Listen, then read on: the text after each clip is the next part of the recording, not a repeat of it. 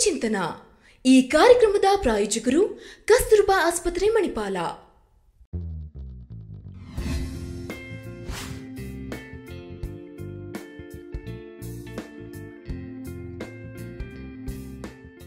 ನಮಸ್ಕಾರ ವೀಕ್ಷಕರೇ. ಕಸ್ತೂರ್ಬಾ ಆಸ್ಪತ್ರೆ ಮಣಿಪಾಲ್ ಅರ್ಪಿಸುವ ಆರೋಗ್ಯ ಚಿಂತನಾ ಕಾರ್ಯಕ್ರಮಕ್ಕೆ ತಮಗೆಲ್ಲರಿಗೂ ಕೂಡ ಪ್ರೀತಿಯ ಸ್ವಾಗತ. ಪ್ರತಿ ವಾರ ನಾವು ಆರೋಗ್ಯಕ್ಕೆ ಸಂಬಂಧಪಟ್ಟಂತೆ ಒಂದೊಂದು ವಿಚಾರಗಳ ಬಗ್ಗೆ ನಿಮಗೆ ಮಾಹಿತಿಯನ್ನ ನೀಡ್ತಾ ಇದ್ದೇವೆ.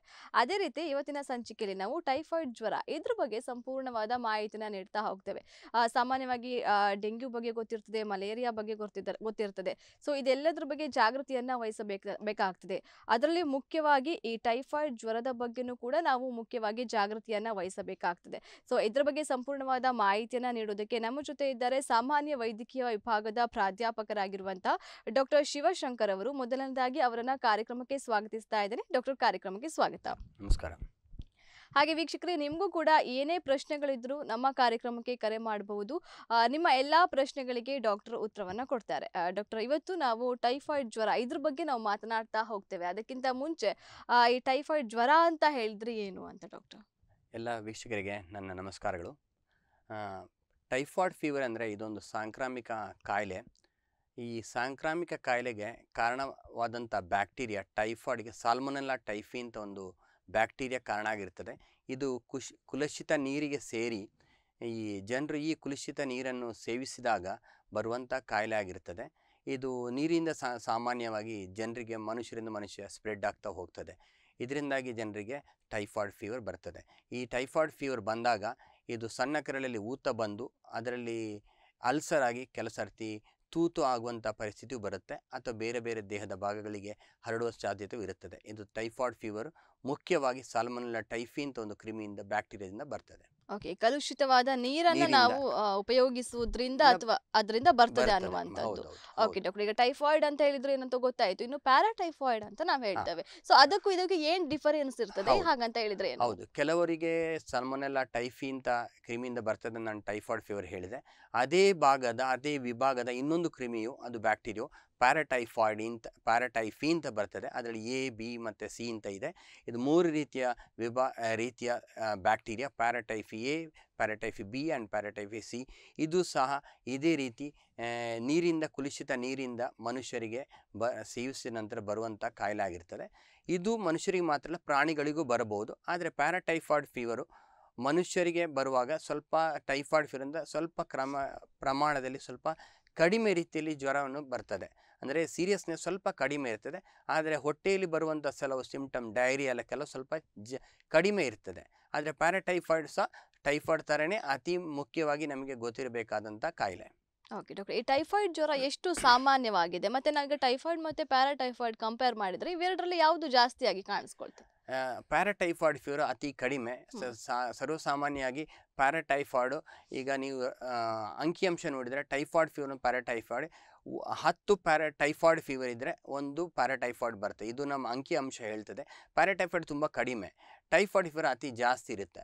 ಈಗ ಇದು ಪ್ರಮಾಣ ನೀವು ದೇಶ ವಿದೇಶದಲ್ಲಿ ನೋಡಿದ ಅಥವಾ ಇಡೀ ಪ್ರಪಂಚದಲ್ಲಿ ನೋಡಿದರೆ ಪ್ರತಿ ವರ್ಷ ಸಾಧಾರಣ ಒಂದು ಹನ್ನೊಂದು ಮಿಲಿಯನ್ ಇಂದ ಇಪ್ಪತ್ತೊಂದು ಮಿಲಿಯನ್ ಜನರಿಗೆ ಟೈಫಾಯ್ಡ್. ಫೀವರ್ ಬರ್ತದೆ. ಸೊ ಇದರಲ್ಲಿ ಭಾರತ ದೇಶದಲ್ಲಿ ನೋಡಿ ಪ್ರತಿ ವರ್ಷದಲ್ಲಿ ಮೂರು ಪಾಯಿಂಟ್ ಐದು ಮಿಲಿಯನ್ ಜನರಿಗೆ ಟೈಫಾಯ್ಡ್ ಫೀವರ್ ಬರ್ತದೆ. ಇದರ ಪರಿಸ್ಥಿತಿ ನೋಡಿದರೆ ಎರಡು ಸಾವಿರದ ಒಂಬೈನೂರ ಎಪ್ಪತ್ತೈದು ಎಪ್ಪತ್ತಾರರಲ್ಲಿ ಪ್ರಪಂಚದಲ್ಲಿ ಅತಿ ಎದ್ ದೊಡ್ಡ ಎಂಡಮಿಕ್ ಸಿಟ್ ಔಟ್ಬ್ರೇಕ್ ಆಫ್ ಟೈಫಾಯ್ಡ್ ಬಂದ ಸಾಂಗ್ಲಿಯಲ್ಲಿ. ಸಾವಿರಾರು ಜನರಿಗೆ ಟೈಫಾಯ್ಡ್ ಬಂದಿತ್ತು. ಸಾಧಾರಣ ಇನ್ನೂರು ಮುನ್ನೂರು ಜನರು ಸತ್ತೋಗಿದ್ದಾರೆ. ಸೊ ಇದು ಎಲ್ಲ ನಮಗೆ ಗೊತ್ತಿರಬೇಕಾದ ಯಾಕಂದ್ರೆ ಮುಂಜಾಗ್ರತೆ ಮಾಡಿ ಇದರ ಕಾಯಿಲೆಯನ್ನು ಕಂಟ್ರೋಲ್ ಮಾಡುವಂಥ ಚಾನ್ಸಸ್ ನಮಗೆ ಡೆಫಿನೆಟ್ಲಿ ಇರುತ್ತೆ. ಸೊ ಅದರಿಂದ ನಮಗೆ ಅತಿ ಮುಖ್ಯ. ಆದರೆ ಇದರಲ್ಲಿ ಹೆಚ್ಚಿನ ಜನರು ಗುಣಮುಖ ಆಗ್ತಾರೆ. ಆದರೆ ಒಂದರಿಂದ ಎರಡು ಪರ್ಸೆಂಟ್ ಜನರಿಗೆ ಇದು ಮರಣಾಂತಿಕ ಕಾಯಿಲೆ ಆಗ್ಬೋದು. ಆದರೆ ನಮ್ಮ ದೇಶದಲ್ಲಿ ಇದು ಎರಡು ಪಾಯಿಂಟ್ ಐದು ಪರ್ಸೆಂಟ್ ಸ್ವಲ್ಪ ಜಾಸ್ತಿ ಮರಣಾಂತಿಕ ಕಾಯಿಲೆ ಆಗೋ ಚಾನ್ಸ್ ಇರುತ್ತೆ. Okay okay. ಅಂದರೆ ಪ್ರಪಂಚದಲ್ಲಿ ಇದು ಒಂದರಿಂದ ಎರಡು ಪರ್ಸೆಂಟ್ ಆದ್ರೂ ಸಹ ನಮ್ಮ ದೇಶದಲ್ಲಿ ಇದು ಒಂದರಿಂದ ಎರಡೂವರೆ point percent point five percent ಜಾಸ್ತಿ. ಈ ಪಾಯಿಂಟ್ ಯಾಕೆ ಫೈವ್ ಡಾಕ್ಟರ್ ಅಂದ್ರೆ ನಮ್ಮ- ಅಂದ್ರೆ ನಮ್ಮಲ್ಲಿ ಜನರು ಆರೋಗ್ಯದ ಬಗ್ಗೆ ಕಾಳಜಿ ಕೊಡೋದು ಅಥವಾ ಆರೋಗ್ಯ ತಪಾಸಣೆ ಹೋಗೋದು ಅಥವಾ. ಕೊನೆಯ ಸಮಯದಲ್ಲಿ ಡಾಕ್ಟರ್ ತಪಾಸಣೆ ಹೋಗೋದು ಅಥವಾ ಸೆಲ್ಫ್ ಮೆಡಿಕೇಶನ್ ಬಹಳ ತುಂಬ ಕಾರಣಗಳು ಕಂಡಿರ್ತದೆ. ಅದರಿಂದಾಗಿ ಸೊ ಕೆಲಸ ಈ ಪ್ರಪಂಚದಲ್ಲಿ ಎಸ್ಪೆಷಲಿ ಭಾರತ ದೇಶದಲ್ಲಿ ನಮಗೆ ಆರೋಗ್ಯದ ಬಗ್ಗೆ ತೊಂದರೆಗಳು ಬರೋದು ಜಾಸ್ತಿ ಕಾಣ್ತದೆ. ಇದು ಒಂದು ಟೈಫಾಯ್ಡ್ ಮಾತ್ರ ಅಲ್ಲ ಬೇರೆ ಕಾಯಿಲೆಗಳು ಬರೋ ಮರಣಾಂತಿಕ ತೊಂದರೆ ಬರೋದು ಭಾರತ ದೇಶದಲ್ಲಿ ಜಾಸ್ತಿ ಇದೆ. ಓಕೆ ಡಾಕ್ಟರ್ ಈಗ ಟೈಫಾಯ್ಡ್ ಬರೋಕ್ಕಿಂತ ಮುಂಚೆ ಏನೆಲ್ಲ ಸಿಂಪ್ಟಮ್ಸ್ ಕಾಣಿಸ್ಕೊಳ್ತದೆ. ಒಳ್ಳೆ ಪ್ರಶ್ನೆ ಕೇಳಿದ್ರಿ. ಟೈಫಾಯ್ಡ್ ಫೀವರ್ ಬರೋದು ಮೊದಲು. ಅದು ಟೈಫಾಯ್ಡ್ ಫೀವರ್ ಅಂತ ಹೇಳಿದ್ರೆ ಖಾಲಿ ಜ್ವರ ಮಾತ್ರ ಅಲ್ಲ. ಇದು ನಾನು ಆಗ ಹೇಳ್ತೇನೆ ಟೈಫಾಯ್ಡ್ ಫೀವರ್ ಬಂದರೆ ಇದು ಸಣ್ಣ ಕರಳಿಗೆ ಸೋಂಕು ಮಾಡಿ ಅಲ್ಲಿ ಅಲ್ಸರ್ ಮಾಡಿ ಅದು ತೂತು ಮಾಡ್ಬೋದು. ಆದರೆ ಇದು ಸಣ್ಣ ಕರಳು ಅಥವಾ ಹೊಟ್ಟೆಗೆ ಮಾತ್ರ ಸಿಂಪ್ಟಮ್ಸ್ ಕೊಡೋದಿಲ್ಲ. ಇದರಲ್ಲಿ ಹೈ ಅತಿ ಉಲ್ಬಣವಾದ ಜ್ವರ ಅತಿ ಹೆಚ್ಚು ಜ್ವರ ಬರ್ತದೆ. ಜ್ವರದೊಟ್ಟಿ ಅವರಿಗೆ ತಲೆನೋವು ಮತ್ತು ಅವರಿಗೆ ಕೆಮ್ಮು. ಮತ್ತು ಅವರಿಗೆ ಹೊಟ್ಟೆ ನೋವು ವಾಂತಿ ಬರ್ಬೋದು. ಮತ್ತು ಕೆಲವರಿಗೆ ಹೊಟ್ಟೆ ಮಲಬದ್ಧತೆ ಬರೋ ಚಾನ್ಸ್ ಇರ್ತದೆ ಕೆಲವರಿಗೆ ಬೇದಿ ಬರೋ ಚಾನ್ಸ್ ಇರುತ್ತೆ. ಇದು ಸರ್ವಸಾಮಾನ್ಯ ಬರುವಂಥ ಕಾಯಿಲೆಗಳು. ಸೊ ಕಾಯಿಲೆಗೆ ಚಿಹ್ನೆಗಳು. ಇದರಿಂದಾಗಿ ಜನರಿಗೆ ಬಂದ ಕೂಡಲೇ ಅವರು ಡಾಕ್ಟರ್ ಹತ್ರ ತಪಾಸಣೆಗೆ ಹೋದರೆ ಅವರು ಖಂಡಿತವಾಗಿ ಡಾಕ್ಟರ್ಗಳು ಅದನ್ನು ಟೆಸ್ಟ್ ಮಾಡಿ ಅದನ್ನು ಪತ್ತೆ ಹಚ್ಬೋದು. ನಾನು ಯಾಕೆ ಹೇಳ್ತೇನೆ ಅಂದರೆ ಯಾವ ಕಾಯಿಲೆಗಳಿಗೂ ಎರಡು ಅಥವಾ ಮೂರು ದಿವಸ ನಂತರ ಇಂಥ ಚಿಹ್ನೆಗಳು ಬಂದಾಗ ನಾವು ಡೆಫಿನೆಟ್ಲಿ ಡಾಕ್ಟರ್ ಹತ್ರ ಹೋಗಬೇಕಾಗುತ್ತೆ. ಇಂಥ ಚಿಹ್ನೆ ಚಿಹ್ನೆಗಳು ಬಂದಾಗ ಡಾಕ್ಟರ್ ಖಂಡಿತವಾಗಿ ತಪಾಸಣೆ ಮಾಡಿಯೇ ಮಾಡ್ತಾರೆ. ಓಕೆ ಡಾಕ್ಟರ್ ಇದು ಹೇಗೆ ಹರಡ್ತದೆ ಅಂತ? ನಾನು. ಆಗ ಹೇಳ್ತಾನೆ ಇದು ಕುಲುಷಿತ ನೀರಿಂದ ಹರಡ್ತದೆ. ಯಾಕಂದ್ರೆ ಕುಲುಷಿತ ನೀರನ್ನು ನಾವು ಯಾವ ಮನುಷ್ಯನ ಸೇವಿಸಿದ್ರು ಅಥವಾ ಯಾವ ಮನುಷ್ಯನು ಈ ಟೈಫಾಯ್ಡ್ ಬ್ಯಾಸಲೆ ಬ್ಯಾಕ್ಟೀರಿಯನ್ ಹೊಂದಿದ್ದಾನೋ ಅವನು ವಾಶ್ರೂಮ್ ಯೂಸ್ ಮಾಡಿ ಅಥವಾ ಯಾವ ಆಹಾರ ಮುಟ್ಟಿಯೋ, ಇನ್ನೊಂದು ಟೈಫಾಯ್ಡ್ ಇಲ್ಲದ ಮನುಷ್ಯನ ಆಹಾರ ಮುಟ್ಟಿದರೆ ಅಥವಾ ಟೈಫಾಯ್ಡ್ ಕಾಯಿಲೆ ಇದ್ದವನು ಇನ್ನೊಂದು ಟೈಫಾಯ್ಡ್ ಇಲ್ಲದ ಮನುಷ್ಯನಿಗೆ ಆಹಾರವನ್ನು ಕೊಟ್ಟು ಅವನಿಂದ ಸ್ಪ್ರೆಡ್ ಆಗೋ ಚಾನ್ಸಸ್ ಇರುತ್ತೆ. ನೀರು ಮಾತ್ರ ಅಲ್ಲ ಆಹಾರದಿಂದಲೂ ಬರ್ಬೋದು. ಸೊ ಮನುಷ್ಯನಿಂದ ಮನುಷ್ಯನಿಂದ ಕಾಂಟ್ಯಾಕ್ಟಿಂದಲೂ ಬರೋ ಚಾನ್ಸ್ ಇರುತ್ತೆ. ಆದರೆ ನೀರು ಸೇವನಿಂದ ಖಂಡಿತವಾಗಿಯೂ ಬರ್ತದೆ. ಸೊ. ನೀರು ಸೇವನೆಯಿಂದ ಮನುಷ್ಯನ ಮನುಷ್ಯನಿಗೆ ಹರಡೋ ಜಾಸ್ತಿ ಚಾನ್ಸಸ್ ಜಾಸ್ತಿ ಇರುತ್ತೆ. ಓಕೆ ಡಾಕ್ಟರ್ ಈಗ ಟೈಫಾಯ್ಡ್ ಮೇರಿ ಅಂತ ಒಬ್ಬರ ಹೆಸರನ್ನ ನಾವು ಕೇಳ್ಪಟ್ಟಿದ್ವಿ. ತುಂಬಾ ಒಳ್ಳೆ ಕ್ವಶನ್ ಕೇಳಿದ್ವಿ ಟೈಫಾಯ್ಡ್ ಜ್ವರ ಅಂತ ಕೇಳಿದ್ವಿ. ಮತ್ತೆ ಟೈಫಾಯ್ಡ್ ಮೇರಿ ಏನ್ ಸಂಬಂಧ ಉಂಟು ಡಾಕ್ಟರ್ ಈ ಜ್ವರಕ್ಕೂ ಆ ಲೇಡಿಗೂ ಅಂತ. ಅಂದ್ರೆ ಈ ಟೈಫಾಯ್ಡ್ ಮೇರಿ ಅನ್ನುವ ಹೆಂಗಸು ಇಡೀ ಟೈಫಾಯ್ಡ್ ಕಾಯಿಲೆಗೆ ಕಾರಣಭೂತವಾದಂಥ ಅಥವಾ ಅದರಲ್ಲಿ ಮಾಡಿದ ಸಂಶೋಧನೆಗೆ ಅತಿ ಮುಖ್ಯವಾದ ಒಂದು ಹೆಂಗಸು ಅಂದರೆ ಟೈಫಾಯ್ಡ್ ಮೇರಿ ಅಂತ. ಇವಳು ಸಾವಿರದ ಎಂಟುನೂರ ಕೊನೆಯ ಭಾಗದಲ್ಲಿ ಅಥವಾ ಸಾವಿರದ ಒಂಬೈನೂರ ಮೊದಲ ಭಾಗದಲ್ಲಿ ಅವಳು ಜೀವಿಸಿದ್ಲು. ಅವಳು ನ್ಯೂಯಾರ್ಕಲ್ಲಿ ಅಡಿಗೆ ಮನೆ ಕೆಲಸ ಮಾಡ್ತಾ ಇದ್ಲು. ಅವಳು ಮೊತ್ತ ಮೊದಲಿಗೆ ಒಂದು ಎಂಟು ಜನಕ್ಕೆ ಆಹಾರ ರೆಡಿ ಮಾಡಿ ಆಹಾರ ಕೊಡ್ತಾ ಇದ್ಲು. ಸೊ ಅವರಿಗೆಲ್ಲ ಟೈಫಾಯ್ಡ್ ಬಂತು. ಆನಂತರ ಅವರು ಬೇರೆ ಮನೆಯವರಿಗೂ ಅವಳು ಆಹಾರ ರೆಡಿ ಮಾಡಿ ಕೊಡ್ತಾ ಇದ್ದು. ಸೊ ಇದೇ ಥರ ಜನರಿಗೆ ಆಹಾರ ಸಪ್ಲೈ ಮಾಡಿ, ರೆಡಿ ಮಾಡಿ ಕೊಡ್ತಾ ಇದ್ಲು ಸಹ. ಆದರೆ ಅವರಿಗೆಲ್ಲ ಟೈಫಾಯ್ಡ್ ಬರಲಿಕ್ಕೆ ಶುರುವಾಯಿತು. ಆದರೆ ಜನರಿಗೆ ಯಾಕೆ ಇವರಿಗೆ ಟೈಫಾಯ್ಡ್ ಬರ್ತಾ ಇದೆ ಅಂತ ಅವರಿಗೆ ಕಾರಣ ಗೊತ್ತಿರಲಿಲ್ಲ. ಅಂದರೆ ಅಲ್ಲಿ ಟೈಫಾಯ್ಡ್ ಇರಲಿಲ್ಲ.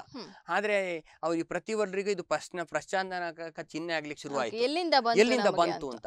ಆಗ ಅವರು ಆಲೋಚನೆ ಮಾಡಿದ್ರು ಇದೆಲ್ಲ ಎಲ್ಲಿಂದ ಬರ್ತಾ ಇದೆ ಅದನ್ನು ನಾವು ಪತ್ತೆ ಹಚ್ಚಬೇಕು ಅಂತ. ಸೊ ಕೊನೆಯಲ್ಲಿ ಅವಳನ್ನು ಟೆಸ್ಟ್ ಮಾಡಿದಾಗ ಅವಳಿಗೆ ಏನು ಚಿಹ್ನೆ ಇರಲಿಲ್ಲ. ಅವಳು ನಾರ್ಮಲ್ ಹೆಲ್ದಿ ಪರ್ಸನ್ ಆಗಿದ್ರು. ಸೊ ಆದ್ರಿಂದ ಅವಳನ್ನು ಟೆಸ್ಟ್ ಮಾಡುವಾಗ ರುಟೀನ್ ಆಗಿ ಟೆಸ್ಟ್ ಮಾಡುವಾಗ ಅವ್ರಿಗೆ ಏನು ಗೊತ್ತಾಗ್ಲಿಲ್ಲ. ಮತ್ತೆ ಅವರು ಬೇರೆ ಸಂಶೋಧನೆ ಮಾಡಿದಾಗ ಅವಳಿಗೆ ಅವಳ ಮಲ ಮತ್ತೆ ಮೂತ್ರವನ್ನು ಟೆಸ್ಟ್ ಮಾಡುವಾಗ ಅವಳು ಕ್ಯಾರಿಯರ್ ಅಂತ ಗೊತ್ತಾಯಿತು. ಅವ್ರ ಟೈಫಾಯ್ಡ್ ಕ್ಯಾರಿಯರ್ ಅಂತ. ಕ್ಯಾರಿಯರ್ ಅನ್ನುವ ಮನುಷ್ಯನು ಟೈಫಾಯ್ಡ್ ಕ್ಯಾರಿಯರ್ ಮನುಷ್ಯನು ಅವನಿಗೆ ಕಾಯಿಲೆ ಇರುವುದಿಲ್ಲ. ಆದರೆ ಅವನನ್ನು ಸ್ಪ್ರೆಡ್ ಮಾಡೋ ಚಾನ್ಸಸ್ ಇರುತ್ತೆ. ಅವನದನ್ನು ಹೊಂದಿರ್ತಾನೆ ಅದನ್ನು ಶೆಡ್ ಮಾಡಿ ಪ್ರಪಂಚದಲ್ಲಿ ಬೇರೆಯವರಿಗೆ ಟ್ರಾನ್ಸ್ಮಿಟ್ ಮಾಡೋ ಚಾನ್ಸಸ್ ಇರುತ್ತೆ. ಸೊ ಮತ್ತೆ ಅವಳಲ್ಲಿ ಕ್ವಶನ್ ಕೇಳುವಾಗ ಅವಳು ಹೇಳೋದು ನಾನು ಆಹಾರ ಎಲ್ರಿಗೂ ತಯಾರಿಸ್ತಾ ಇದ್ದೆ ಆದರೆ ಕೈ ವಾಶ್ ಮಾಡದೆ ಅಥವಾ ಕೈ ಕ್ಲೀನ್ ಮಾಡದೆ ನೀರು ತೊಳೆಯ ಕೈಯನ್ನು ತೊಳೆಯದೆ ನಾನು ನೀರು ಆಹಾರವನ್ನು ಪ್ರಯ ಪ್ರೊಡ್ಯೂಸ್ ಮಾಡ್ತಾ ಇದ್ದೆ ಅಥವಾ ಆಹಾರ ಪ್ರಿಪೇರ್ ಮಾಡ್ತಾ ಇದ್ದೆ ಅಂತ. ಅದು ಮುಖ್ಯವಾಗಿ ಯಾಕಂತ ಹೇಳಿದ್ರೆ ಪಾಶ್ಚಾತ್ಯ ಜ ಆ ಟೈಮಲ್ಲಿ ಹೆಚ್ಚಿನ ಅಂಶ ಸಮಯದಲ್ಲಿ ಜರ್ಮ್ ಥಿಯರಿ ಅಂತ ಇರಲಿಲ್ಲ. ಜರ್ಮ್ ಥಿಯರಿ ಮತ್ತೆ ಬರಲಿ ಶುರುವಾದ ಕೈ ವಾಶ್ ಮಾಡಿದರೆ ಎಷ್ಟೋ ಕ್ರಿಮಿಗಳನ್ನು ನಾವು ದೇಹಕ್ಕೆ ಹೋಗದ ಹಾಗೆ ಪ್ರಯತ್ನ ಮಾಡ್ಬೋದು ಅಥವಾ ತಡೆಗಟ್ಬೋದು ಅಂತ ಮತ್ತೆ ಅದನ್ನು ಸಂಶೋಧನೆ ಮಾಡಿದ್ರು. ಅದು ನಮ್ಮ ದೇಶದ ಎಷ್ಟೋ ಐ ಐ ಐದು ಸಾವಿರ ವರ್ಷದ ಹಿಂದಿನೇ ನಾವು ಮನೆ ಒಳಗೆ ಬರಬೇಕಾದ್ರೆ ಅಥವಾ ನಾವು ಊಟ ಮಾಡಬೇಕಾದ್ರೆ ಕಾಫಿ ಟೀ ತಿನ್ನು ತಿನ್ನು ಕೈ ತೊಳೆದು ಮಾಡಬೇಕು ಅಂತ ಇದನ್ನು ನಮ್ಮ ಹಿರಿಯರು ಮಾಡಿದ್ದಾರೆ. ಎಷ್ಟು ಒಳ್ಳೆಯ ಸಂಸ್ಕೃತಿ ಸಂಸ್ಕೃತಿಯನ್ನು ನಮಗೆ. ಹೇಳಿಕೊಟ್ಟಿದ್ದಾರೆ. ಆದರೆ ಇದನ್ನು ನಾವು ಈಗ ನಾವು ಅವರಿಂದ ಕಲಿಯೋ ಪರಿಸ್ಥಿತಿ ಬಂದಿದೆ. ಆದರೆ ನಾವು ಏನು ಮಾಡ್ಲಿಕ್ಕೆ ಆಗಲ್ಲ? ಆದರೆ ನಾವು ನಮ್ಮ ಹಿಂದಿಯ ಹಿರಿಯರು ಮಾಡಿದ್ದನ್ನು ಕೆಲಸ ಕೆಲವು ವಿಷಯಗಳು ಹೌದಾ ಅಲ್ವಾ ಅಂತ ಈಗ ನಾವು ಆಲೋಚನೆ ಮಾಡಿ ತಗೊಳ್ಬೇಕಾಗತ್ತೆ. ಸೊ ಈ ಮೇರಿ ವಿಷಯದಿಂದ ನಮಗೇನು ಏನು ಇಡಬೇಕಂದ್ರೆ ಕೈ ವಾಶ್ ಮಾಡಿ ಸಿಂಪಲ್ ಮೆಷರಿಂದ ಎಷ್ಟೋ ನಾವನ್ನು ಪ್ರಿವೆಂಟ್. ಮಾಡ್ಬೋದು. ಅದೇ ಥರ ಕ್ಯಾರಿಯರ್ ಎನ್ನುವ ಮನುಷ್ಯನು ಎಷ್ಟು ಜನರಿಗೆ ಸ್ಪ್ರೆಡ್ ಮಾಡ್ಬೋದು ಅಂತ ಆ ಮೇರಿಯಿಂದ ನಾವು ಕಲಿ ಕಲ್ತ್ಕೊಳ್ಬೋದು. ಓಕೆ ಡಾಕ್ಟರ್ ಹಾಗೆ ಒಬ್ರು ಕಾಲರ್ ಇದ್ದಾರೆ ಅವ್ರ ಜೊತೆ ಮಾತಾಡೋಣ. ಹಲೋ ಹಲೋ ಹಲೋ ನಮಸ್ಕಾರ ಸರ್ ನಮಸ್ಕಾರ ನಾನು ಎ. ಕೃಷ್ಣ ಅಂತ ಮಂಗಳೂರು ತಾಲೂಕು ಮಾತಾಡೋದು. ಈ ಹೇಳಿ ಸರ್. ಜ್ವರದಿಂದ ಎಸ್ ಸರ್ ಈ ಜ್ವರದಿಂದ ಸಾವು ಸಂಭವಿಸಬಹುದು ಮತ್ತೆ ಇದು ನೀರಿನ ಒಂದು ಕಲುಷಿತದಿಂದ ಬರ್ಬೋದು ಮತ್ತೆ ಇದು ಈ ಜ್ವರ ಬಿಟ್ಟು ಬರುವುದು ಯಾಕೆ ಮತ್ತೆ ಅವರಿಗೆ ಆರೋಗ್ಯ ನಿತ್ರಣ ಆಗ್ತದ ವಾಂತರಿಕ ಬರ್ತದ ಈ ಜ್ವರದಿಂದ ಅದು ಬಿಟ್ಟು ಬಿಟ್ಟು ಜ್ವರ ಬಿಟ್ಟು ಬಿಟ್ಟು ಯಾಕೆ ಬರ್ತದೆ ಅಂತ ಅಂದ್ರೆ ಎಷ್ಟು ದಿನದ ಜ್ವರ ಉಂಟು ಸರ್? ಎಷ್ಟು ದಿನ ದಿನದ ಜ್ವರ ಇರ್ತಾರೆ? ಕಲುಷಿತದಿಂದ ಈ ರೀತಿ ಜ್ವರ ಬರುದ ನೀರು ಒಳ್ಳೆದಿಲ್ಲದಿದ್ರೆ ಈಗ ಜನರು ಈ ಕುಲುಷಿತ ನೀರು ತಕೊಂಡ ನಂತರ ಏಳರಿಂದ ಇದಕ್ಕೆ ಇಂಕ್ಯುಬೇಷನ್ ಪೀರಿಯಡ್ ಅಂತ ನಾವು ಹೇಳ್ತೇವೆ. ಏಳರಿಂದ ಹತ್ತು ದಿನದಲ್ಲಿ ಆಹಾರ ಸಿಹಿ ಕುಲುಷಿತ ನೀರನ್ನು ತಕೊಂಡ ನಂತರ ಅವರಿಗೆ ಜ್ವರ ಶುರು ಆಗುತ್ತೆ ಈ ಜ್ವರ ಏಳರಿಂದ ಹತ್ತು ದಿನ ಇರ್ತದೆ. ಅನಂತರ ಅವರಿಗೆ ಹೊಟ್ಟೆ ಚಿಹ್ನೆಗಳು ಬೇರೆ ಚಿಹ್ನೆಗಳು ಹಂತ ಹಂತವಾಗಿ ಬರ್ತದೆ. ಸೊ ಫಸ್ಟ್ ದಿ ಜ್ವರ ಬರೋದು ಏಳರಿಂದ ಹತ್ತು ದಿನ ಮಾತ್ರ. ಅನಂತರ ಜ್ವರ ಅವರಿಗೆ ಬರೋದಿಲ್ಲ. ಅದಕ್ಕೆ ನಾವು ಯೂಶ್ವಲಿ ಸ್ಟೆಪ್ ಲ್ಯಾಡರ್ ಫೀವರ್ ಅಂತ ಹೇಳ್ತೇವೆ. ಸೊ ಈ ಥರ ಫಸ್ಟಲ್ಲಿ ಮಾತ್ರ ಏಳರಿಂದ ಹತ್ತು ದಿನ ಜ್ವರ ಬರುತ್ತೆ ಕುಲುಷಿತ ಆಹಾರ ಆ ನೀರಲ್ಲಿ ಆ ಬ್ಯಾಕ್ಟೀರಿಯಾ ಇದ್ರೆ ದೇಹಕ್ಕೆ ಸೋಂಕು ತಗಲಿದ ಕೂಡಲೇ ಡೆಫಿನೆಟ್ಲಿ ಜ್ವರ ಬರ್ತದೆ. ಕೆಲವರಿಗೆ ತುಂಬ ಹೈ ಸ್ಪೈಕಿಂಗ್ ಫೀವರ್ ಬರ್ಬೋದು. ಕೆಲವರಿಗೆ ಲೋ ಗ್ರೇಡ್ ಫೀವರು ಬರ್ಬೋದು. ಅವರ ದೇಹದ ಇಮ್ಯುನಿಟಿ ಹೊಂದ್ಕೊಂಡು ಬರ್ಬೋದು ಸರ್ ಆಂಟಿಬಯೋಟಿಕ್ ಮಾತ್ರ ತಗೊಂಡು ಹೋಗ್ಬೋದು. ಆಂಟಿಬಯೋಟಿಕ್ ಎಲ್ಲ ಇಷ್ಟ ಅಂದ್ರೆ ನಾವು ಈಗ ಏನಾಗಿದೆ ಅಂದರೆ ಸರ್ ಅದಕ್ಕೆ ನಾವು ಈ ಕಾಯಿಲೆಗೆ ಪತ್ತೆ ಹಚ್ಚಿ ನಾವು ಕನ್ಫರ್ಮ್ ಡಾಕ್ಟರ್ಗಳಲ್ಲಿ ತೋರಿಸಿ ಕನ್ ಕಂಪ್ಲೀಟ್ ಕನ್ಫರ್ಮೇಷನ್ ಮಾಡಿದ ನಂತರನೇ ಆ ಕನ್ಫ ಆ್ಯಂಟಿಬಯೋಟಿಕ್ಕು ಕರೆಕ್ಟ್ ಡೋಸನ್ನು ಕರೆಕ್ಟ್ ಸಮ್ ಸಮಯದವರೆಗೆ ತಗೊಳ್ಬೇಕಾಗತ್ತೆ. ಅರೆ ಎಲ್ಲಿಯಾದರೂ ತಗೊಂಡ್ಬಿಟ್ರೆ ನಾವು ನಮಗೆ ಮಾತ್ರ ಅಲ್ಲ ಪ್ರಪಂಚದಲ್ಲಿ ಇರುವ ಬೇರೆಯವರಿಗೂ ನಮಗೆ ಆ ಟೈಫಾಯ್ಡ್ ಬ್ಯಾಸಿಲೈ ರೆಸಿಸ್ಟೆಂಟ್ ಆಗೋ ಚಾನ್ಸ್ ಇರುತ್ತೆ.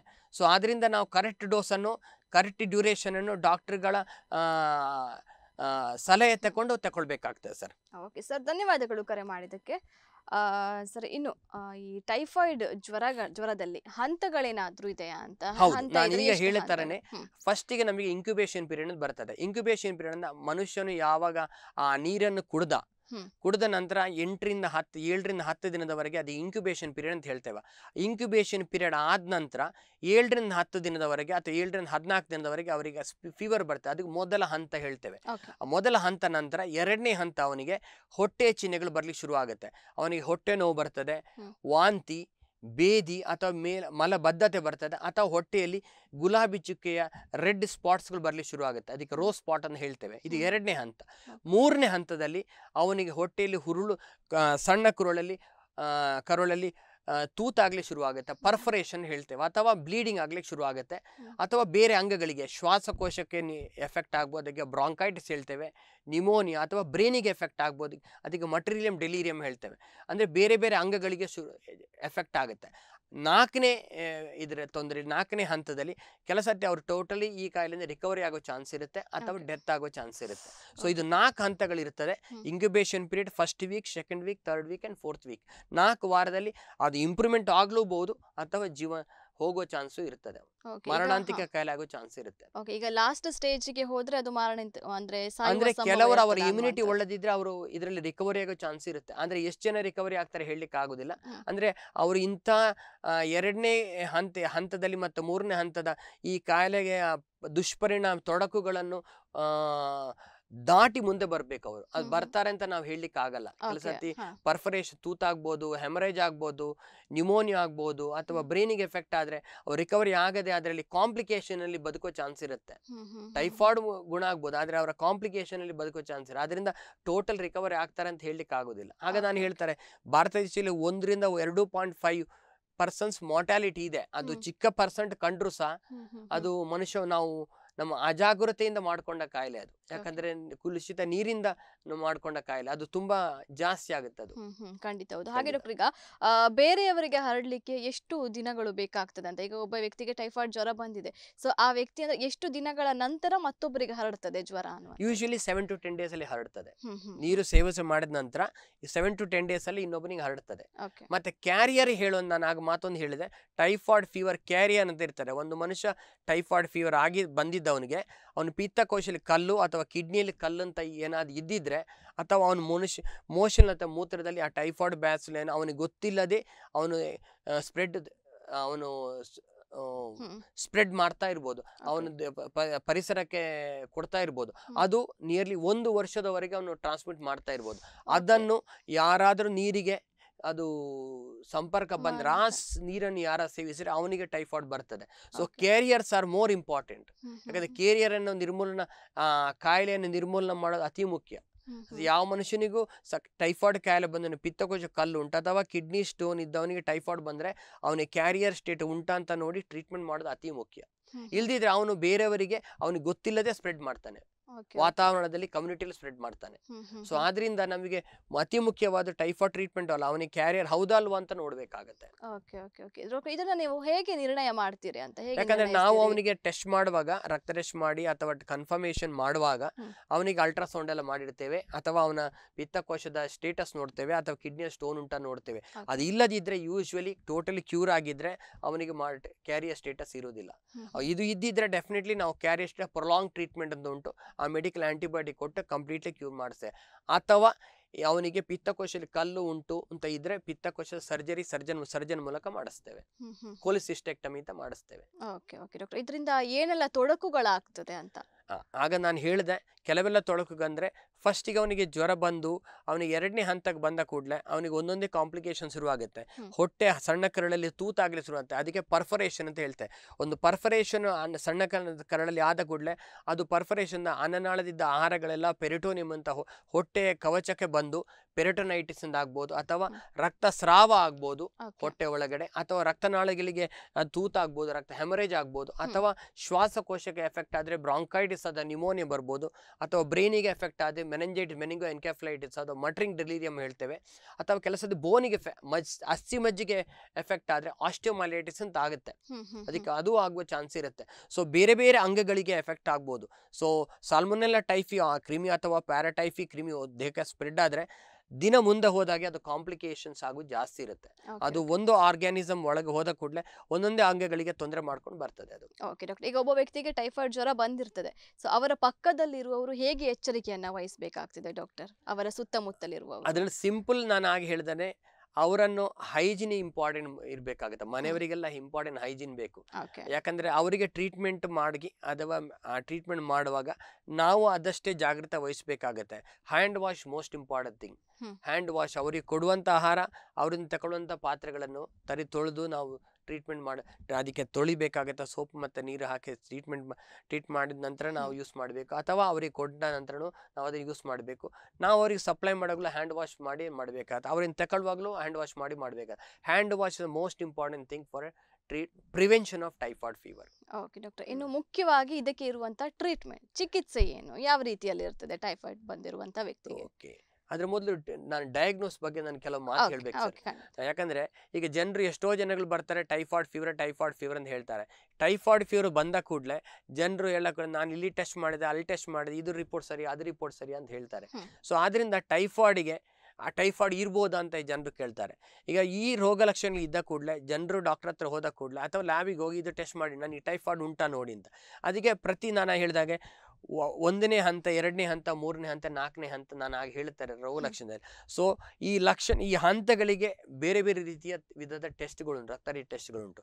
ನಂಬರ್ ಒನ್ ಯಾವಾಗಲೂ ನಾವು ರಕ್ತ ಟೆಸ್ಟ್ಗಳು ಒಂದನೇ ಹಂತದಲ್ಲಿ ಮಾಡುವಾಗ ಬ್ಲಡ್ ಕಲ್ಚರ್ ಅಂತ ಮಾಡ್ತೇವೆ. ರಕ್ತ ತಪಾಸಣೆ ಮಾಡ್ತೇವೆ. ಅದು ಕಲ್ಚರ್ ಮಾಡಿದ ಹೆಚ್ಚಿನ ಸಮಯದಲ್ಲಿ ರಕ್ತದಲ್ಲಿ ಸಾಲ್ಮೊನೆಲ್ಲ ಅಥವಾ ಪ್ಯಾಲ ಸಾಲ್ ಪ್ಯಾರಾ ಪ್ಯಾರಾಟೈಫಾಯ್ಡ್ ಆರ್ಗ್ಯಾನಿಸಮ್ ಗ್ರೋ ಆಗುತ್ತೆ. ಅದು ಕನ್ಫರ್ಮೇಟ್ರಿ ನೂರಕ್ಕೆ ನೂರು ಡೆಫಿನೆಟಿವ್ ಡಯಾಗ್ನೋಸಿಸ್ ಸಾಲ್ಮೊನೆಲ್ಲ ಟೈಫಿ ಅಂತ ಹೇಳ್ತೇವೆ. ಬ್ಲಡ್ ಕಲ್ಚರ್ ಹೇಳ್ತೇವೆ. Second one is second week ಅಲ್ಲಿ ಪ್ರಾಬ್ಲಿ ನಾವು ನೆಕ್ಸ್ಟ್ ಟೆಸ್ಟ್ ಮಾಡೋದು ವೈಡಾಲ್ ಟೆಸ್ಟ್ ಅಂತ ಹೇಳ್ತೇವೆ. ವೈಡಾಲ್ ಟೆಸ್ಟ್ ಇಸ್ ಎರಡನೇ ವೀಕ್ ಅಲ್ಲಿ ಹೈಲಿ ಸೆನ್ಸಿಟಿವ್ ಅಂದ್ರೆ ಅದು ಟೆಸ್ಟ್ ಮಾಡಿದ್ರೆ ಕನ್ಫರ್ಮೇಟಿವ್ ನಾನು ಬ್ಲಡ್ ಕಲ್ಚರ್ ಎರಡನೇ ವಾರದಲ್ಲಿ ಮಾಡಬಾರ್ದು ಹೇಳೋದಿಲ್ಲ. ಮಾಡಿದ್ರೆ definitely it's positive but. Most informative test and sensitive test is typhoid ಫೀವರಿಗೆ second ವೀಕಲ್ Widal test. Widal test is ಅಂದರೆ ಮೋದಿನ್ ಫೋರ್ ಫೋಲ್ಡ್ ರೇಸ್ ಹೇಳ್ತಾರೆ ಅದರಲ್ಲಿ ನಾವು usually one is to eighty ಅಂತ ಹೇಳ್ತೇವೆ. ಒನ್ ಇಸ್ ಟು ಏಯ್ಟಿ ಆದರೆ ಫೋರ್ ಫೋಲ್ಡ್ ರೇಸಲ್ಲಿ ಒಂದು ವಾರದಿಂದ ಎರಡನೇ ವಾರಕ್ಕೆ ಜಾಸ್ತಿ four fold rise in titre ಅಂತ ಹೇಳ್ತಾರೆ ವೈಡಲ್ ಟೆಸ್ಟ್ ಪಾಸಿಟಿವ್ ಬಂದರೆ definitely it is typhoid fever.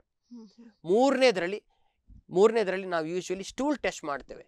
Stool culture ಮಾಡುವಾಗ ಪಾಸಿಟಿವ್ ಬಂದ್ರೆ ಅದು ಟೈಫಾಯ್ಡ್ ಫೀವರ್ ಅಂತ ಹೇಳ್ತೇವೆ.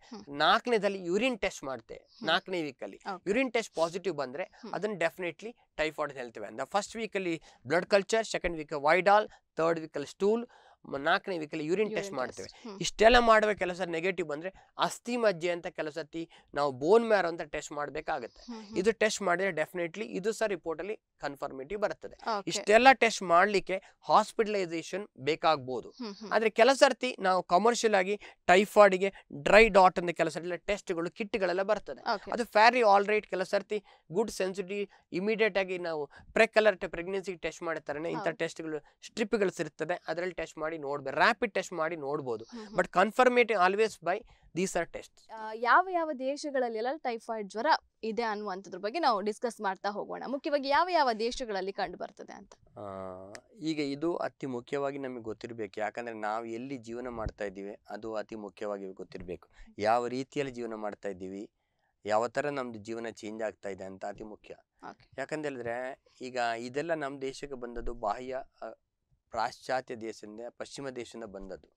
ಈಗ ನೀವು ನೋಡಿದರೆ ಮೊತ್ತ ಮೊದಲು ನಾನು ನಿಮಗೆ ಹೇಳಬೇಕಂತ ಹೇಳಿದರೆ ಈ typhoid or paratyphoid disease America ಆಗಲಿ ಕೆನಡಾ ಆಗಲಿ ಅಥವಾ ಯುರೋಪಿಯನ್ ಕಂಟ್ರಿ ಆಗಲಿ ಆಸ್ಟ್ರೇಲಿಯಾ ಕಾಯಿಲೆ Singapore it is not there. ಈ ಕಾಯಿಲೆ ಈ ಟೈಫಾಯ್ಡ್ ಫೀವರ್ ಎನ್ನುವುದು ಈ ಕಾಯಿಲೆ ಅಲ್ಲಿ ಇಲ್ಲ.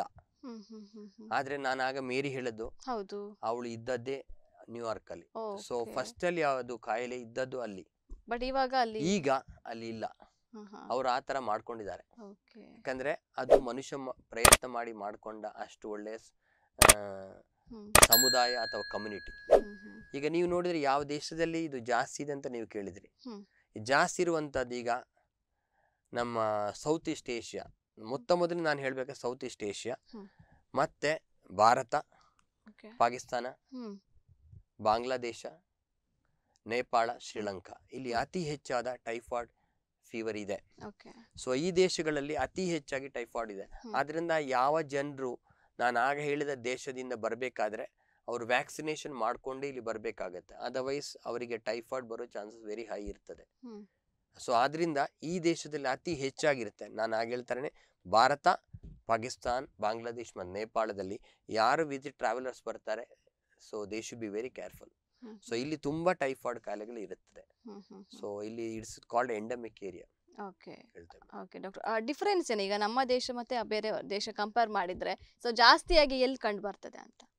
ಇದಕ್ಕೂ ಈ ಕ್ರಿಮಿಗೂ ಸ್ವಲ್ಪ ವ್ಯತ್ಯಾಸ ಇದೆ. ಟೈಫಾಯ್ಡ್ ಬ್ಯಾಸಿಲೈ ಆಫ್ ಈ ನಮ್ಮ ದೇಶದ ಕಂಟ್ರಿಯ ಬ್ಯಾಕ್ಟೀರಿಯಾ ಬ್ಯಾಕ್ಟೀರಿಯಾಕ್ಕೂ ಬೇರೆ ದೇಶದಕ್ಕೂ ಕೆ ವ್ಯತ್ಯಾಸ ಇದೆ. ಯಾಕೆ ಹೇಳ್ತೇನೆ ಅಂದರೆ ನಮ್ಮ ಬೇಸಿಕಲಿ ನಮ್ಮ ದೇಶದಲ್ಲಿ ಇದು ಮನುಷ್ಯ ಮಾಡ್ಕೊಂಡದು ಹೇಳ್ತೇವೆ ನಾವು. ಈಗ ನಮ್ಮ ದೇಶದಲ್ಲಿ ಇದಕ್ಕೆ M D R typhoid fever ಹೇಳ್ತೇವೆ. ಎಚ್ ಎಕ್ಸ್ ಡಿ ಆರ್ ಅಂತ ಹೇಳಿ. ಎಂ ಡಿ ಆರ್ ಅಂದರೆ multi drug resistant typhoid bacilli ಹೇಳ್ತೇವೆ. ಅವರು multi drug resistant typhoid fever ಹೇಳ್ತೇವೆ. ಅಥವಾ X D R extensive drug resistant typhoid fever or extensive drug resistant typhoid bacilli ಹೇಳ್ತೇವೆ. ಇದು ಹೆಸರೇ ಹೇಳ್ತಾ ಉಂಟು. ಅಂದರೆ ಇದಕ್ಕೆ ಎರಡೂ ಕಾಯಿಲೆಗಳಿಗೂ ಕಾಮನ್ ಆಗಿ ನಾವು ಹಿಂದಿನ ಕಾಲದಲ್ಲಿ ಸಾಧಾರಣ ಮೂವತ್ತು ವರ್ಷದ ಹಿಂದೆ ಕೊಡುವಂಥ ಮೆಡಿಸಿನ್ಗಳಾಗಲಿ ಯಾವ್ದು ಆ್ಯಂಟಿಬಾಡಿ ಕೊಡ್ತಾ ಇತ್ತು ಅದೆಲ್ಲ ವರ್ಕ್ ಆಗೋದಿಲ್ಲ. ಯಾಕಂದ್ರೆ ಇದು ನಾವು ಮನುಷ್ಯ ಮಾಡ್ಕೊಂಡದ್ದು ಯಾಕಂದ್ರೆ ನಮ್ಮ ದೇಶದಲ್ಲಿ ಎಲ್ಲವೂ ಸುಲಭದಲ್ಲಿ ಸಿಗ್ತದೆ. ಡಾಕ್ಟ್ರು ಹೇಳಿದ್ರು ಜನರಿಗೆ ಡಾಕ್ಟರ್ ಅಡ್ವೈಸ್ ಕೊಟ್ಟರು. ಆ ಮೆಡಿಸಿನನ್ನು ಅವರಿಗೆ ಖುಷಿ ಬಂದಷ್ಟು ಕೆಲವು ದಿನ ತಗೊಳ್ತಾರೆ ಉತ್ತಮವಾಗಿದ್ದು ಬಿಡ್ತಾರೆ. ಅದರಿಂದಾಗಿ ಟ್ರೈಫಾಯ್ಡ್ ಮಾರಿರ್ಬೋದು ಅಥವಾ ಅರೆ ಮಾರಿರ್ಬೋದು ಅಥವಾ ಅವರಿಗೆ ಗುಣ ಆಗಿದೆ ಅಂತಾದರೂ ಸಹ ಆ ಕ್ರಿಮಿ ತೊಂದರೆ ಕಂಪ್ಲೀಟ್ ಆಗಿ ಗುಣ ಆಗದೆ ಬೇರೆಯವರಿಗೆ ಟ್ರಾನ್ಸ್ಮಿಟ್ ಮಾಡುವಾಗ ಅದರಲ್ಲಿ ರೆಸಿಸ್ಟೆನ್ಸ್ ಬಂದಿರ್ತದೆ. ಸೊ ಆದ್ರಿಂದ ಅವರಿಗೆ ನೆಕ್ಸ್ಟ್ ಪರ್ಸನಿಗೆ ಅದು ರೆಸಿಸ್ಟೆಂಟ್ ಆರ್ಗ್ಯಾನಿಸಮ್ ಆಗಿ ಬರ್ತದೆ. ಇದಕ್ಕೆ M D R or X T R typhoid fever ಅಂತ ಹೇಳ್ತೇವೆ. ಇದು ನಮ್ಮ ದೇಶದಲ್ಲಿ ಆಗಿದೆ. ಯಾಕಂದ್ರೆ ನಮಗೆ ಓವರ್ ದ ಕೌಂಟರಿಂದ ಆಂಟಿಬಯೋಟಿಕ್ ಸಿಕ್ಕಿದ ಕಾರಣ ಜನರಿಗೆ ಬೇರೆ ದೇಶದಲ್ಲಿ ಆಲ್ ರೆಸ್ಟ್ರಿಕ್ಟೆಡ್ ಎಸ್ಪೆಷಲಿ ಯುರೋಪಿಯನ್ ಕಂಟ್ರಿಲಿ ಆಸ್ಟ್ರೇಲಿಯಾ ಸಿಂಗಾಪುರಲ್ಲಿ ಎಲ್ಲ ಆ್ಯಂಟಿಬಯೋಟಿಕ್ ಎಲ್ಲ ಡಾಕ್ಟರ್ ಪ್ರಿಸ್ಕ್ರಿಪ್ಷನ್ ಇಲ್ಲದೆ ನಮ್ಗೆ ಸಿಗುವುದಿಲ್ಲ ಅದು ನಮ್ಮ ದೇಶದಲ್ಲಿ ನಾವು ಕೌಂಟ್ರಿಗೆ ಕೇಳಿದ ಕೂಡಲೇ ಯಾವ ಆ್ಯಂಟಿಬಯೋಟಿಕ್ ಸಿಗ್ತದೆ? ಆದ್ದರಿಂದಾಗಿ ನಾವು ಅದನ್ನು ಓವರ್ ಯೂಸ್ ಮಾಡಿ ಅಥವಾ ನಾವು ಅಂಡರ್ ಯೂಸ್ ಮಾಡಿ ಕರೆಕ್ಟ್ ಡಾಕ್ಟರ್ ಕೊಟ್ಟ ಪ್ರಿಸ್ಕ್ರಿಪ್ಷನ್ ಕರೆಕ್ಟ್ ತಗೊಳ್ಳದೆ ಆ ಈ ಆರ್ಗ್ಯಾನಿಸಮ್ನ ನೋ ರೆಸಿಸ್ಟ್ ಮೋರ್ ರೆಸಿಸ್ಟೆಂಟ್ ಆಗಿ ಮಾಡಿ ಇಂಥ ಆರ್ಗ್ಯಾನಿಸಮ್ಗಳು ಕಾಮನ್ ಆ್ಯಂಟಿಬಯೋಟಿಕ್ ರೆಸ್ಪಾನ್ಸ್ ಆಗೋದನ್ನು ರೆಸಿಸ್ಟೆಂಟ್ ಮಾಡಿ ಹಾಕಿ. ನಾವು more expensive more stronger antibiotic ಕೊಟ್ಟು ನಾವು ಇದನ್ನು ಕಂಟ್ರೋಲ್ ಮಾಡುವ ಪರಿಸ್ಥಿತಿ ಬಂದಿದೆ. ಅದರಿಂದಾಗಿ ನಾನು ನಿಮಗೆ ಹೇಳೋದು ನಮ್ಮ ದೇಶಕ್ಕೂ ಬೇರೆ ದೇಶಕ್ಕೂ ಈ ಆ್ಯಂಡ್ ಬ್ಯಾಕ್ಟೀರಿಯಾ ಟೋಟಲಿ ಡಿಫ್ರೆನ್ಸ್ ಇದೆ.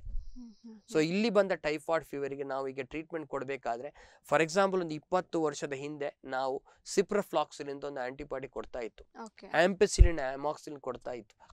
ಅದನ್ನು ಕೊಟ್ರೆ ಈಗ ಯಾವ ರೆಸ್ಪ ಟೈಫಾಯ್ಡ್ ಫೀವರು ರೆಸ್ಪಾಂಡ್. ಆಗೋದಿಲ್ಲ.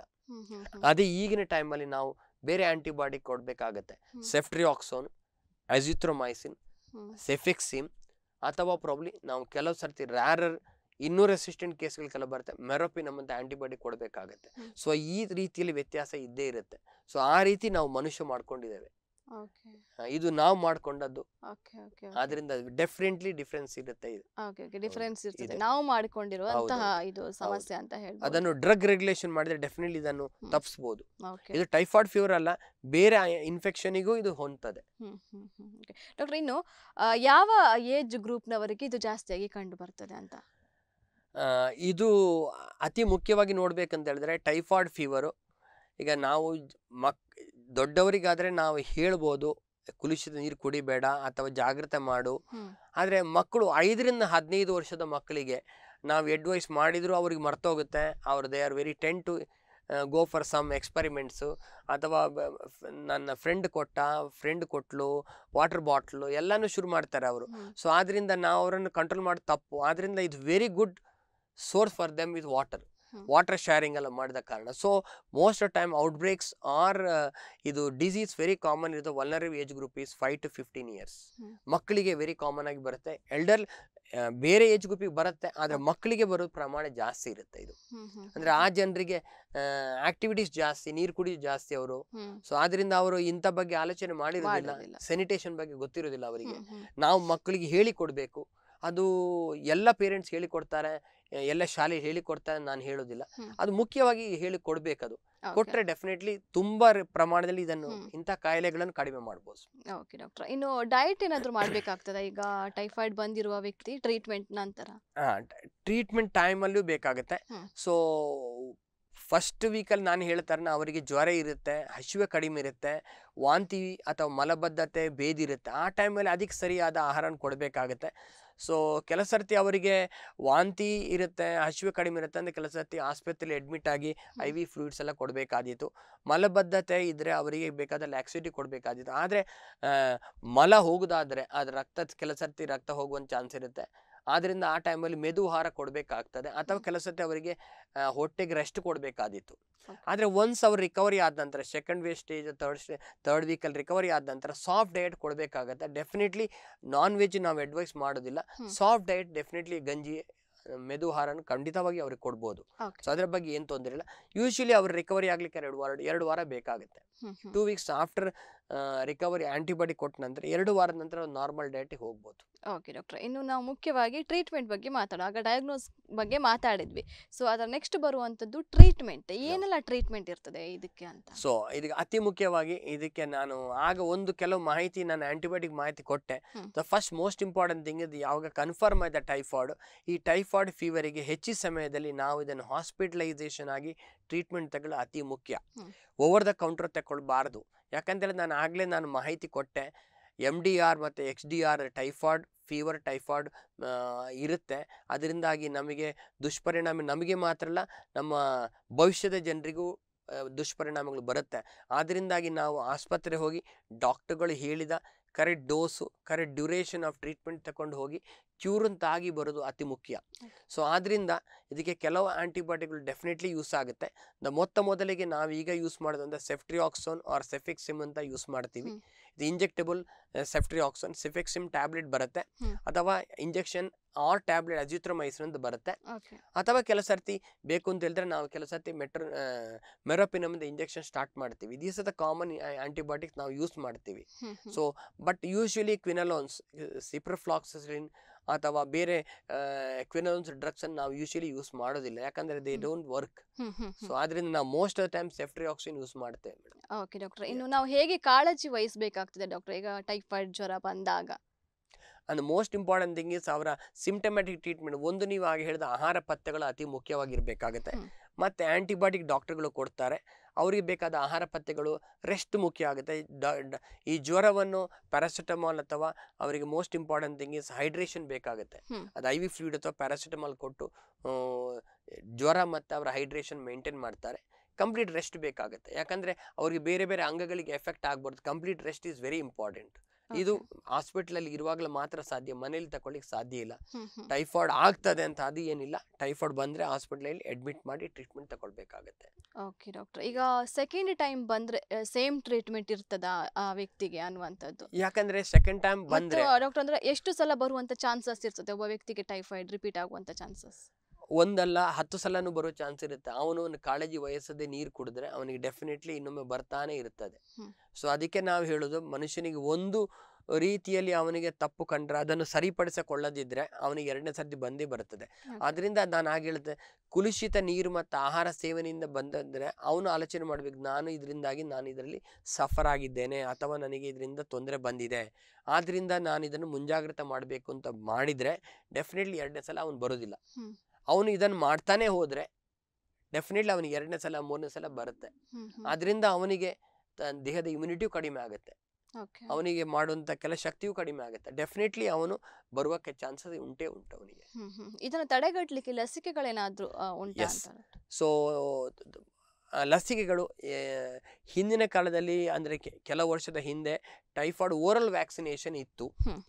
ಆದರೆ ಈಗ ಓರಲ್ ವ್ಯಾಕ್ಸಿನೇಷನ್ ಇಂಡಿಯಾದಲ್ಲಿ ಅವೈಲೇಬಲ್ ಇಲ್ಲ. ಬಟ್ ಎರಡರ two vaccination available capsular vaccination typhoid capsular vaccination ಅಂತ ಉಂಟು. Capsular V I polysaccharide vaccination ಎರಡು ವ್ಯಾಕ್ಸಿನೇಷನ್ ಇದೆ.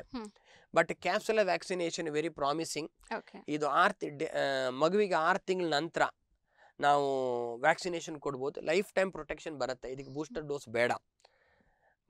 ಅದು ಕ್ಯಾಪ್ಸುಲರ್ ಪಾಲಿಸೆಕ್ಡ್ ವ್ಯಾಕ್ಸಿನೇಷನ್ಸ್ ಕೊಡ್ಬೋದು. ಆಫ್ಟರ್ ಟೂ ಇಯರ್ಸ್ ನಂತರ ಇದಕ್ಕೆ ಬೂಸ್ಟರ್ ಡೋಸ್ ಬೇಕಾಗ್ಬೋದು. ಇದು ವೆರಿ ಇಂಪಾರ್ಟೆಂಟ್ ಫಾರ್ ಎಸ್ಪೆಷಲಿ ನಮಗೆ ಡೆಫಿನೆಟ್ಲಿ ನಾವು ತಗೊಳ್ಬೋದು ಆದರೆ very important those for travellers ಆಗ ನಾನು ಹೇಳಿದೆ ಪಾಶ್ಚಾತ್ಯ ದೇಶದಿಂದ ಬರ್ತಾರೆ ಆಸ್ಟ್ರೇಲಿಯಿಂದ ಬರ್ತಾರೆ ಸಿಂಗಾಪುರಿಂದ ಬರ್ತಾರೆ. ಯಾವ ದೇಶದಲ್ಲಿ ಟೈಫಾಯ್ಡ್ ಇಲ್ಲ.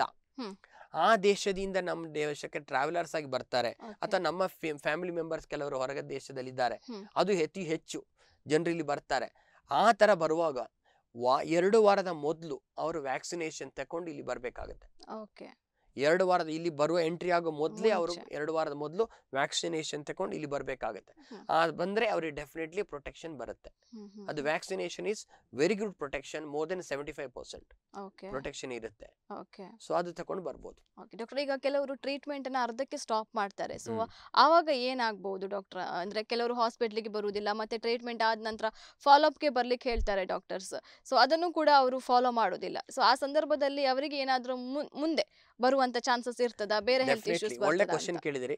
ಸೊ ಎಲ್ಲ ಜನರಿಗೆ ಇದು ಗೊತ್ತಿರಬೇಕಾಗುತ್ತೆ. ಒಂದು ಜನರು ಯಾವಾಗ ಟೈಫಾಯ್ಡ್ ಫೀವರ್ ಬಂದಿದೋ ನಾನು ಆಗ ಹೇಳ್ತಾರೆ ಅವರು ಟ್ರೀಟ್ಮೆಂಟ್ ಕಂಟಿನ್ಯೂ ಮಾಡಿ ಡಾಕ್ಟರ್ಗಳು ಹೇಳುವ ಅಡ್ವೈಸ್ ಥರ ಫಾಲೋ ಮಾಡಿದರೆ completely typhoid will be curable by chance ಅರ್ಧದ ನಿಲ್ಲಿಸಿದ್ರು ಅದು ಕ್ಯೂರ್ ಆಗಿರ್ಲೂಬಹುದು ಅಥವಾ ಆಗದೆ ಇರಲೂಬಹುದು ಸೊ ಆನಂತರ ಏನಾಗುತ್ತೆ ಅವರಿಗೆ ಬರುವಂಥ ದುಷ್ಪರಿಣಾಮ ಬೇರೆ ಅಂಗಗಳಿಗೆ ತೊಂದರೆ ಬರುವಂಥದ್ದು ಖಂಡಿತ ಬರ್ಬೋದು. ಅಥವಾ ಅವರು ಕ್ಯಾರಿಯರ್ ಆಗಿರುವ ಚಾನ್ಸಸ್ಸು ಉಂಟು. ನಾನು ಆಗ ಹೇಳ್ತಾರೆ ಕ್ಯಾರಿಯರ್ ಅಂದ್ರೆ ಅವರಿಗೆ ದೋಹದಲ್ಲಿ ದೇಹದಲ್ಲಿ ತೊಂದರೆ ಬರಲಿಕ್ಕಿಲ್ಲ. ಅವ್ರ ಕೊನೆ ಪಕ್ಷದಲ್ಲಿ ಅವರ ಫ್ಯಾಮಿಲಿಯವರಿಗೂ ಅವರು ಟೈಫಾಯ್ಡ್ ಕೋರೋ ಚಾನ್ಸ್ ಇರುತ್ತೆ. ಕೆಲಸ ಫ್ಯಾಮಿಲಿ ಕೆಲಸಲ್ಲಿ ಬ್ರೇಕ್ ಆಗೋ ಚಾನ್ಸ್ ಇರುತ್ತೆ ಅಥವಾ ಅವರ ಕಮ್ಯುನಿಟಿಲಿ ಔಟ್ ಬ್ರೇಕ್ ಮಾಡೋ ಚಾನ್ಸ್ ಇರುತ್ತೆ. ಸೊ. ಆದ್ರಿಂದ ಅವರು ಡಾಕ್ಟರ್ಗಳಿಗೆ ಕೊಟ್ಟ ಮಾಹಿತಿ ಅವ್ರು ಕೊಡುವಂಥ ಫಾಲೋಅಪ್ ಯಾವ ಬರಬೇಕಂತ ಹೇಳ್ತಾರೆ ಅಲ್ಲಿಗೆ ಕರೆಕ್ಟ್ ಟೈಮಲ್ಲಿ ಬಂದು ನಾನು ಕ್ಯೂರ್ ಆಗಿದ್ದೇನೆ ಗುಣಮುಖ ಆಗಿದ್ದೇನೆ ಅಂತ ಡಾಕ್ಟ್ರಿಂದ ಮಾಹಿತಿ ತಗೊಂಡು ಹೋಗೋದು ಅತಿ ಮುಖ್ಯ ಆಗಿರುತ್ತೆ ಇಲ್ದಿದ್ರೆ ಏನಾಗುತ್ತೆ ಅಂತ ಹೇಳಿದ್ರೆ ಅವ್ರು ನಾನು ಮುಗಿ ನನಗೆ ಗುಣ ಆಗಿದೆ ಜ್ವರ ಕಡಿಮೆ ಆಗಿ ಜ್ವರ ಮುಖ್ಯ ಅಲ್ಲ.